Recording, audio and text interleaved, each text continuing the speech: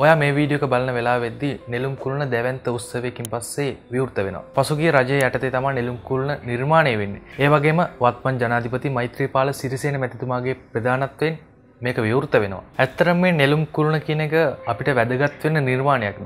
එහෙම නැත්නම් නිකම්ම නිකන් උසට හදපු බිල්ඩින් එකක් විතරද?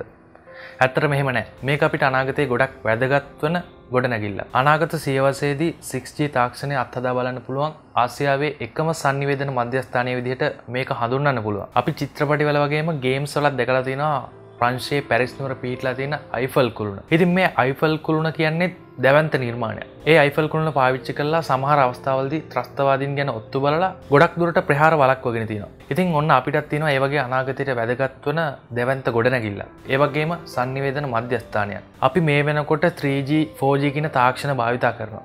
ඒ වගේම ඉදිරියට එන්න තියෙනවා 5G තාක්ෂණය. එතනින් එහාට ගියාම 6G තාක්ෂණයත් එන්න තියෙනවා.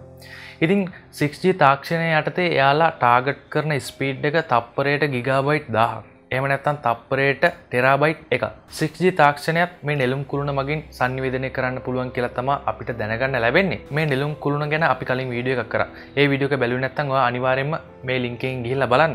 මේක හදන්නේ චීන සමාගමක් එක්ක එකතු වෙලානේ. කොහොම වුණත් මේ නෙළුම් කුළුණ මේ වෙනකන් නිර්මාණය වෙන්න ලංකාවේ ඉන්න මිනිසුන්ගේ සල්ලි වලිනුත් කිය කිය හරි වියදම් වෙන්න ඇති. හැබැයි ඒ විදිහට ජනතාවගේ සල්ලි වලින් කීය කිය හරි වියදම් වුණත් අනාගතය දිහා බලල හදපු හොඳ නිර්මාණයක් විදිට මේ නෙළුම් කුරුණ හඳුන්න්න පුළුවන් විතින් අපි මේ ඉන්න තොරතුරු තාක්ෂණ යුගයකන එතකොට මේ වගේ දෙයක් අපේ රට අනිවාරෙන්ම වැදගත්වෙනවා ඉදිරියට අපි අලුත්ම වීඩියකින් හම්මෙන බලාපොරත්තුවෙන් සමුගෙන යන්නට සූදානමෙන් තාමත් අප චැනලක සබස්ක්‍රයිප් කරන නැතන් දැම්ම පල්ල රතු පට බටන කොබල සබස්ක්‍රයිප් කරන්න. ඉතින් අපි අලුත්ම වීඩියකින් හම්බෙම්. සියලම දෙනාට සුබ දවසා